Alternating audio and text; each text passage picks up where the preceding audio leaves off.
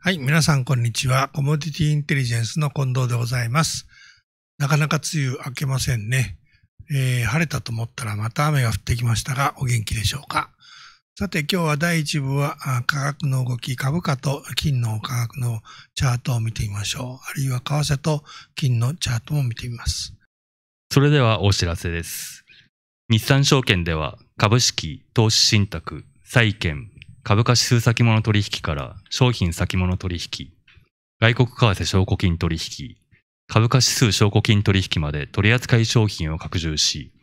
あらゆるお客様のニーズにお応えできるようサービス環境を整備しております。特に商品先物取引では、対面取引、オンライン取引、コールセンター取引に対応し、すべてのお客様に安心してお取引いただくための取引環境をご提供しております。セミナーやキャンペーンも随時開催しておりますので、日産証券ホームページにてご確認ください。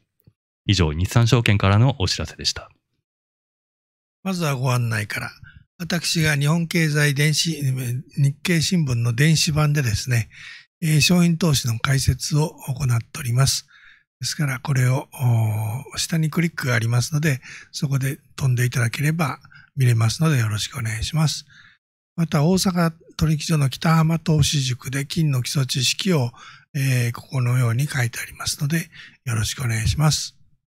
また、大阪道島商品取引所では穀物について、つまりトウモロコシについてお話をしております。トウモロコシの基礎知識も、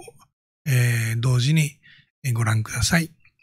さて次は、えー、日経225日本の株と東京金価格の動きでございます。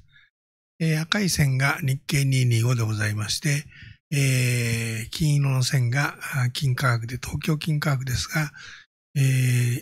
金価格が右肩上がりに上がってて、日経22、後で100分比で書きますので、えー、大体こんな動きだということをご覧ください。これはドル円と、ドル円は大きく上がったり下がったりしてますね。こんなにあの、円安になったり円高になったりしてたんですね。えー、ドル円の場合は上の方が110円です。円安ですね。下の方が円高になってます。えー、ということで、えー、金価格が右肩上がりと。これはニューヨーク金価格とアメリカのダウ平均株価でございます。これも大きく緑色の線が下に向かってますね。新型コロナができた、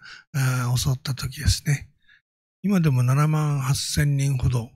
えー、今朝ほどちょっとカウントしましたら、だいたい日本の100倍ですね。えー、14万人ほどが累計でございまして、日本のだいたい100倍になってます。アメリカはですね、カリフォルニアとかが最近は多く多くなってます。えー、死者の数もだいたい14万人ぐらいですから、日本が3万人でしたかね、えー、だいぶ違いがあります。え、ニューヨーク金価格とドルインデックスでございますが、え、これは特に相関はあるかないかはよくわかりません。0.34ですから、数値的には相関はありませんが、現在はドル安になってますね。大きく95.12までドル安に下がってます。金は右肩上がりで上がってますと。ダウ平均株価と原油価格でございますが、これは比較的この、なんていうのかな、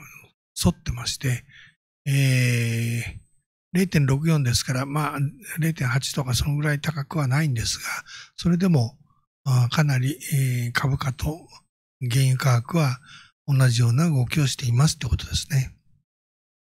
さて、ファンドの縦玉に参りますと、えー、21日までの、うん、ニューヨーク金につきましては、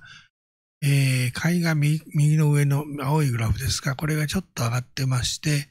えー、ファンドの売りの方も少し上がってまして、えー、売り算は直近ではちょっと減少したんですね。従いまして、ネット改ざんは少し増加しましたってのが直近の動きでございます。えー、ファンド、えー、プラチナございます。えー、こちらは、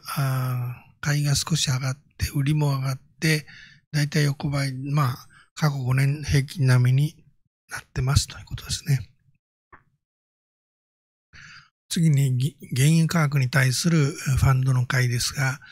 えー、少し原油は買われて、うん、売りが少なくなって、えーまあネット改ざんはまほぼ横ばいですが若干少し上昇してますというところですかね。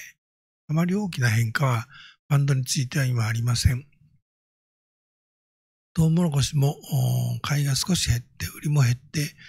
結局ネット改ざんはまあ若干増加したってところですかね。